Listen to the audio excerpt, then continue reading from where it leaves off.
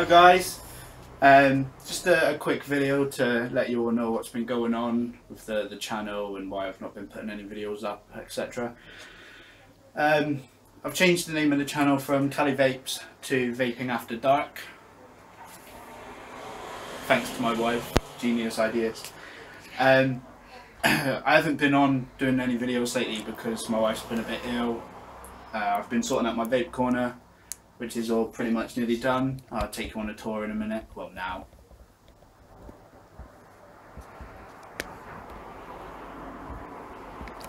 Sexy, I know.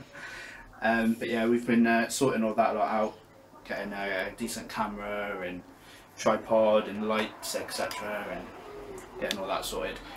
But um, what it'll be is it'll be starting off as tomorrow, which is in the UK Friday.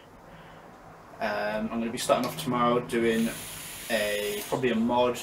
I don't know yet, maybe a mech mod or something.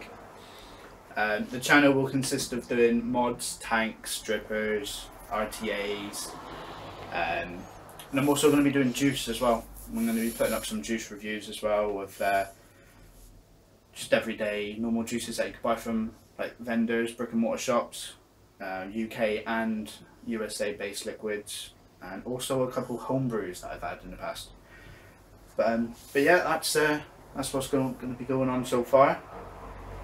Um, what else was I going to say? No, yeah, I think that's it. But yeah, right, well everybody, stay good, keep on vaping, stay away from them stinky sticks.